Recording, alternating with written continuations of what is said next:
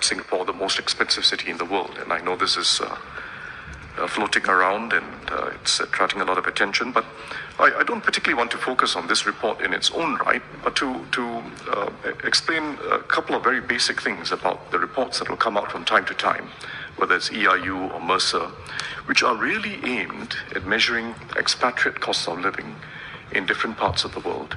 And they're useful tools for HR managers and corporate HQs as they decide where to place their people. And even when they're placing them in a particular place, how to compensate them adequately based on the cost of living. It's a useful tool. வணக்கம் நண்பர்களே நான் ஈஸ்வரன் பேசுகிறேன் இப்போ சிங்கப்பூரில் வந்து ஜனாதிபதி தேர்தல் வருது அதான் இந்த வருஷம் செப்டம்பர் மாதம் வாக்கில் ரெண்டாயிரத்தி இருபத்தி மூணு செப்டம்பர் வாக்கில் இந்த ஜனாதிபதியோட தேர்தல் வருது ஏன்னா இப்போ இருக்கக்கூடிய ஜனாதிபதி வந்து திருமதி ஹலீமா யாக்கோப் அப்படின்னு அவங்களுடைய டென்யூர் வந்து அந்த செப்டம்பர் ரெண்டாயிரத்தி இருபத்தி மூணில் முடியுது. இது எவ்ரி சிக்ஸ் இயர்ஸ் இங்கே வந்து ஜனாதிபதி தேர்தல் நடக்கும் அதிபர் தேர்தல். ஹலிமா யாக்கோப் வந்து ரெண்டாயிரத்தி பதினேழில் தேர்ந்தெடுக்கப்பட்டாங்க. அவங்க வந்து தேர்ந்தெடுக்கப்பட்ட போது அன்னப்போஸ்டு ஏன்னா மலை கம்யூனிட்டியில் ரொம்ப வருஷமாக யாருமே பிரசிடெண்ட்டாக இல்லைன்னு சொல்லிட்டு அவங்க மலை கம்யூனிட்டிக்கு ரிசர்வ் பண்ணாங்க. அந்த ரெண்டாயிரத்தி பதினேழு தேர்தலில் வந்து reserved for Malay communities so அதில் ஹலிமா யாக்கோப்ங்கிறவங்க வந்து கேண்டிடேட் சப்மிட் பண்ணாங்க. ஸோ அவங்க அன்ன போஸ்ட்டாக செலக்ட் ஆகிட்டாங்க இப்போ சிங்கப்பூரில் என்ன விசேஷம்னா இந்த பிரசிடென்ஷியல் எலெக்ஷனில் வந்து பொதுமக்கள் ஓட்டு போடுவாங்க. இப்போ பொதுவாக இந்தியாவிலலாம் பார்த்தீங்கன்னா ப்ரைம் மினிஸ்டர் மற்ற எம்பிஸு எம்எல்ஏஸ் தான் ஓட்டு போடுவாங்க பொதுமக்கள். அப்புறம் அந்த எலெக்டட் எம்எல்ஏஸ் வந்து தே வில் சூஸ் பிரசிடெண்ட் அவங்களோட இதில் பண்ணுவாங்க. ஆனால் இங்கே வந்து பிரசிடெண்ட்டுக்கே வந்து பொதுமக்கள் வாக்கு செலுத்தணும். அதுவும் கம்பல்சரி. வாக்கு செலுத்துறது கம்பல்சரி சிங்கப்பூரில். அதனால் இப்போ ரெண்டாயிரத்தி இருபத்தி மூணு செப்டம்பர் வாக்கில் அந்த தேர்தல் வருது. அதுக்கு வந்து ஒரு முன்னிலை வேட்பாளராக திரு தர்மன் சண்முகரத்னம் அப்படிங்கிறவர் நிற்கிறார் அவர் வந்து கிட்டத்தட்ட ஒரு இருபது வருஷமாக அந்த அரசியலில் இருக்கார். பொருளாதார மேதை அவர். பிஏபிங்கிற பார்ட்டியில் தான் அவர் மெம்பராக இருக்கார். அதாவது People's Action Party government ruling party அதில் வந்து கிட்டத்தட்ட டுவெண்ட்டி இயர்ஸாக அவர் வந்து எம்பியாக இருக்கார். நல்ல பொருளாதார மேதை அவர். நல்லா படித்தவர் மெத்த படித்தவர் எல்லா நாலேஜும் இருக்குது அவருக்கு. எந்த விதமான கான்ட்ரவர்சிலையும் மாற்றுறதில்லை அவர். ரொம்ப ஒரு ஜென்டில்மேன் சொல்லலாம். அவ்வளோ ஒரு பதவிசாக நடந்துப்பார் அவர். அவர் வந்து இப்போது இந்த ஜனாதிபதி தேர்தலில் போட்டிடுறார் அதனால் இந்த பிஏபி எம்பி சீட்டை வந்து ரிசைன் பண்ணிட்டார். ஸோ அது ஒரு தேவை. இங்கே வந்து எம்பி சீட்டில் இருக்கக்கூடாது. ஜனாதிபதி தேர்தல் போடும்போது. ஸோ அவர் வந்து பார்த்தீங்கன்னா ஒரு டெப்புட்டி ப்ரைம் மினிஸ்டர்னு சொல்லலாம். டெப்புட்டி ப்ரைம் மினிஸ்டராக இருந்திருக்காரு. அப்புறம் வந்து எஜுகேஷன் மினிஸ்டராக இருந்திருக்காரு. அதுக்கப்புறம் வந்து அந்த எம்ஏஎஸ்னு ஒன்று இருக்குது. மானிட்டரி அத்தாரிட்டி ஆஃப் சிங்கப்பூர்னு அதாவது அந்த சென்ட்ரல் பேங்க்குக்கு ஈக்குவலன்ட் அது அதனுடைய சேர்மனாக இருந்திருக்கார் அவர். அப்புறம் வந்து இன்னும் இந்த நிதி அமைச்சராகவும் இருந்திருக்காரு. அதாவது ஃபைனான்ஸ் மினிஸ்டர் சொல்கிறோம் இல்லையா? அந்த மாதிரி இருந்திருக்கார் அவர். அது தவிர அந்த ஜென்ரல் ஐ மீன் அந்த இந்த இன்வெஸ்ட்மெண்ட் கவர்மெண்ட் இன்வெஸ்ட்மெண்ட் கார்பரேஷன் ஒன்று இருக்குது அதுக்கு வந்து ஹெட்டாக இருந்திருக்காரு அவர். அதாவது இந்த இன்வெஸ்ட்மெண்ட் கார்பரேஷன் வந்து ஓவர்சீஸ்லாம் இன்வெஸ்ட் பண்ணோம். கவர்மெண்ட் சார்பில். அதை வந்து இவர் அதுக்கு பொறுப்பேற்று நல்லா வழி நடத்திருக்காரு. அதுக்கப்புறம் இப்போ சமூக கொள்கைகளை ஒரு ஒருங்கிணைக்கும் அமைச்சராக அவர் இருந்துட்டு வந்துட்டுருக்கார் இப்போதைக்கு. அதாவது சோஷியல் பாலிசிஸ் கோஆர்டினேட்டிங் மினிஸ்டராக அவர் இருந்திருக்கு இந்த மாதிரி நிறையா நல்ல நல்ல ஒரு பெரிய பெரிய போஸ்ட்டில் இருந்திருக்காரு. அவர் நல்லபடியாக பர்ஃபார்ம் பண்ணியிருக்காரு. அவர் மேலே எல்லாருக்கும் ரொம்ப நல்ல அபிப்பிராயம். ஏன்னா ரொம்ப சாந்தமாக பேசுவார். அதாவது ஒரு சின்ன நிகழ்ச்சி சொல்கிறேன் இப்போ பொதுவாக அந்த மற்ற கண்ட்ரிஸ் வெஸ்டர்ன் கண்ட்ரிஸ் எல்லாம் இருக்கு இல்லையா? அது வந்து இந்த மாதிரி ஏஷியன் கண்ட்ரிஸை கொஞ்சம் ஒரு மாதிரி தாக்கி பேசும். ஏதாவது ஒரு விஷயத்தில் அவங்க சார்ஜ் பண்ணுவாங்க தாக்கி பேசுவாங்க. இப்போ அதே மாதிரி சிங்கப்பூரை பற்றி ஒரு வெஸ்டர்ன் மீடியாவில் வந்து ஒரு ரிப்போர்ட் கொடுத்தாங்க. அஃப்கோர்ஸ் தாக்கியெல்லாம் பேசலை. அவங்க வந்து சிங்கப்பூர் வந்து ரொம்ப costly country cost of living ரொம்ப அதிகம். அதாவது நூற்றி இருபது நாடில் இது வந்து அஞ்சாவது லெவலில் இருக்கான் காஸ்ட் ஆஃப் லிவிங்கில் அதனால் அது வந்து யாராலையும் அங்கே போய் இருக்க முடியாது அப்படின்னு சொல்லிட்டு அவங்க வந்து ஒரு ரிப்போர்ட் பப்ளிஷ் பண்ணியிருக்காங்க அதுக்கு வந்து இவர் எந்த மாதிரி ரிப்ளை கொடுத்தாரு தெரியுமா? ரொம்ப ஒரு மனமே நெகிழ்ச்சியாகிடும் நமக்கு அதை கேட்டோம்னாக்க. அவர் என்ன சொன்னார்? ரெண்டு சொன்னார். ஒன்று வந்து சிங்கப்பூர் டாலர் வந்து ரொம்ப ஸ்ட்ராங் ஆயிடுச்சு. ஏன்னா எக்கானமி ரொம்ப நல்லா பர்ஃபார்ம் பண்ணுது. அதனால் சிங்கப்பூர் டாலர் ரொம்ப ஸ்ட்ராங் ஆயிடுச்சு. அது வந்து ஃபாரின் கண்ட்ரீஸ்க்கு கொஞ்சம் அஃபெக்ட் ஆகும் கண்டிப்பாக ஸோ அது ஒரு காரணம். செகண்ட் வந்து அந்த ரிப்போர்ட்டில் அவங்க சொன்னாங்க இல்லையா? இது வந்து காஸ்ட் காஸ்ட் ஆஃப் லிவிங் அதிகம் எல்லாமே விலை அதிகம்னு. அது எல்லாமே எக்ஸ்பேட்ரியேட்ஸுக்கு பொருந்துகிற விஷயங்கள் தான் அது. உள்ளூர் சிங்கப்பூரியன்ஸுக்கு பொருந்துறதே இல்லை. அதாவது எக்ஸ்பேட்ஸ்னா என்ன? அந்த யூரோப்பு அமெரிக்கா ஆஸ்திரேலியா அங்கேருந்து வர்றவங்க டாப் லெவலில் இருக்கிறவங்க வருவாங்க.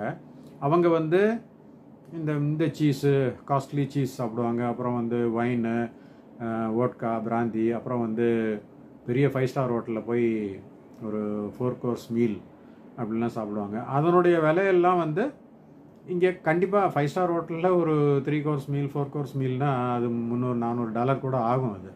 நாலு பேருக்கு. ஸோ அதெல்லாம் பார்க்கும்போது that is not everybody everyday Singaporeans இது கிடையாது அது. அவங்க அந்த மாதிரி ஸ்பெண்ட் பண்ணுறது கிடையாது. ஸோ இது எல்லாமே வந்து அந்த எக்ஸ்பேட்ரேட்ஸுக்கு பொருந்தக்கூடியது.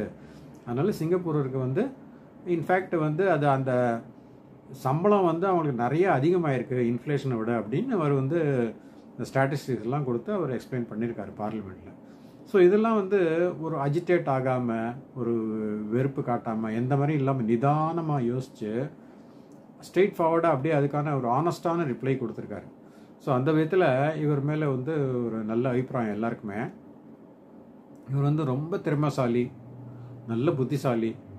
எக்கனாமிக்ஸ் பற்றி ஃபுல்லாக தெரியும் அவருக்கு. ஏ டு இசட் தெரியும். மெத்த படித்தவர் இவர். பொருளாதார மேதை பொருளாதார நிபுணர். எந்த விதமான சர்ச்சையிலையும் மாற்றுறதில்லை அவர். மற்றவங்க இவர் மேலே குறை சொல்கிறது இல்லை இவர் மற்றவங்களை குறை சொல்கிறது அந்த மாதிரி எதுலேயுமே மாட்ட மாட்டார் இவர். ஊழல் சுத்தமாக கிடையாது. அப்புறம் வேண்டியவங்களுக்கு உதவி செய்கிறது மாமா மச்சான் அவனுக்கு பதவி கொடுக்க அதெல்லாம் பேச்சே கிடையாது அந்த மாதிரி. ரொம்ப ரொம்ப டீசெண்டான ஆள் நேர்மையாளர் நாட்டு பற்று மிக்கவர். அதாவது நாட்டுக்காக தான் எல்லாத்தையுமே செய்யக்கூடியவர். தன்னுடைய தன்னுடைய தேவைகளுக்கோ இல்லை தன்னை சார்ந்தவர்களான தேவைகளுக்கோ அதுக்கெல்லாம் அவர் பார்க்குறதே இல்லை. நாட்டுக்கு எது நல்லது அப்படிங்கிறத பார்த்து தான் அவர் சிந்திப்பார். அதேமாரி சமூக அக்கறை ஜாஸ்தி அவருக்கு அதாவது நிறைய பேருக்கு வந்து சப்போஸ் இந்த கோவிட்லாம் வந்தபோது பார்த்தீங்கன்னா வேலை இழப்பு ஏற்பட்டது இல்லை சம்பளம் குறைஞ்சது அந்த மாதிரிலாம் இருந்தது. ஸோ அந்த மாதிரி இருக்கிறவங்களுக்கெல்லாம் நம்ம எப்படியாவது உதவி பண்ணணுன்ட்டு அவர் வந்து இந்த சிங்கப்பூரில் இந்த ரிசர்வ்ஸ்னு ஒன்று இருக்கும். அதாவது அந்த பணம் இருக்கு இல்லையா அதை வந்து ரிசர்வில் வச்சுருப்பாங்க. எதுக்குமே அதை எடுக்க முடியாது லேஸில். எக்ஸ்ட்ராடினரி சுச்சுவேஷனில் தான் நம்ம அந்த ரிசர்வ்லேருந்து பணத்தை எடுக்க முடியும். அதுக்கான வழிகாட்டுதலை இவர் பண்ணியிருக்காரு. அதாவது இந்த கோவிட் டயத்தில் நிறையா பேர் வந்து மில்லியன் கணக்கில் எல்லாரும் பாதிக்கப்பட்டாங்க. அதனால் அவங்களுக்கு எப்படியாவது ஓரளவு சம்பளத்தையாவது கொடுக்கணும். நம்ம டூ மந்த்ஸ் த்ரீ மந்த்ஸ் சம்பளம் கொடுக்கணும். அப்புறம் ஃபிஃப்டி பர்சன்ட் சம்பளம் கொடுக்கணும்.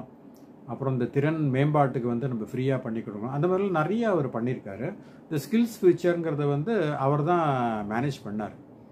அதாவது திறன் மேம்பாடு இருந்தால் தான் இப்போ நடக்கிற இந்த சயின்ஸ் அண்ட் டெக்னாலஜி டெவலப்மெண்ட் இருக்கு இல்லையா? அதோட வந்து சிங்கப்பூரியன்ஸ் வந்து கேட்சப் பண்ண முடியும் அப்படின்னு சொல்லிட்டு அந்த ஸ்கில்ஸ் ட்ரைனிங்லாம் கொடுத்தாரு. அது நல்ல சப்சிடைஸ் ரேட்டில் கொடுத்தாரு.